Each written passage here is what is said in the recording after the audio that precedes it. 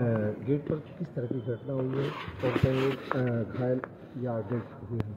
ये थाना क्षेत्र कोतवाली के अंतर्गत एससी कॉलेज के बाहर पीजी कॉलेज के कुछ छात्रों के बीच में मारपीट की घटना हुई है, जिसमें एक छात्र को सर पे क्रिकेट बैट लगने की वजह से चोट आई थी, जिसके संबंध में उसको जिला अस्पताल बढ़िया लाया गया।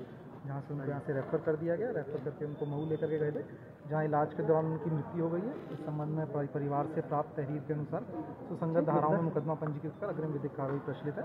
जो भी प्रगति होती है आप लोगों को अवगत करवाया जाएगा। सर कोई गिरफ़्तार हुआ है अभी हमारी टीम इसके लिए लगी गई है। एडिशनल एसपी के नेतृत्व में तीन टीमों का गठन किया गया एक टीम सी सिटी साहब के नेतृत्व में अलग से गठित की गई है और एसओजी की टीम हमारी सभी टीम्स लगी हुई हैं और जल्दी जैसी गिरफ्तारी होती है आप लोगों को अपडेट किया क्या को भी निलंबित किया गया सर? जी हाँ इस संबंध में जो हमारे जापिनगंज थाना कोतवाली के जापिनगंज चौकी प्रभारी हैं उनको निलंबित कर दिया गया। पूरे थाने में सर कितने लोगों पे एफआईआर दर्ज की गई है? अभी तक जो परिवार के द्वारा तहरीर दी गई है उसमें नौ लोगों को नामजद किया गया। बाकी विवेचनात्मक कार्रवाई में जो भी तथ्य आएँगे उनसे आप लोगों को सर आज पेपर था वहाँ पर पेपर के दौरान कोई वहाँ पुलिसकर्मी मौजूद नहीं थे।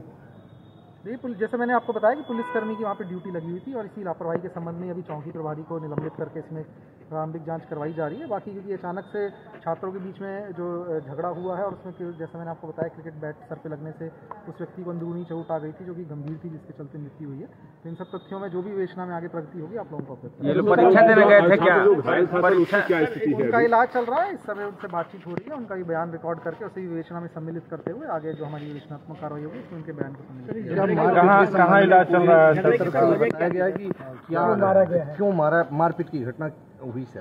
देखिए क्योंकि ये विवेचनात्मक कार्रवाई है इस पे इस संबंध में अभी आप लोगों को बताना जल्दी होगा। जैसे विवेचना में इन चीज़ों का खुलासा होता है तो आप लोगों को एडिशनल प्रेस नोट के माध्यम से बता दिया सर जाएगा। छात्र परीक्षा देने गया था कि मतलब दिलाने गए थे परीक्षार्थी थे कि क्या थे? अभी तक जो पता चला है बीए के छात्र थे जो परीक्षा देने गए थे जो आरोपी हैं वो बीएससी के उसी कॉलेज के एक ही कॉलेज के बीएससी के छात्र थे। उस संबंध में उस समय इनकी मारपीट हुई। यानी घटना कारित करने वाले दोनों पक्ष दोनों एक ही कॉलेज के हैं। स्टूडेंट्स हैं जी पीडी कॉलेज के धन्यवाद। तो परिवार के लोग जिला अस्पताल में इलाज की वजह से संकित होती थी घटना नहीं खाता देखिए कुछ यहाँ पे लोगों का इस संबंध में कुछ लोगों के द्वारा आक्रोश प्रकट किया गया था कि जब उसको जिला अस्पताल लेके जाया आया गया तो उस समय यहाँ पे उसको इलाज नहीं मिला जिसके चलते रेफर करने गया। इस संबंध में डीएम साहब से बात करके कि मैं पुलिस विभाग की तरफ़ से आप लोगों को बाइट दे रहा हूँ। जो भी यहाँ पे आवश्यकताएँ होंगी और डीएम साहब से निश्चित रूप से बात करके उस संबंध में भी बता दिया गया कि किया जाए। Thank you sir thank you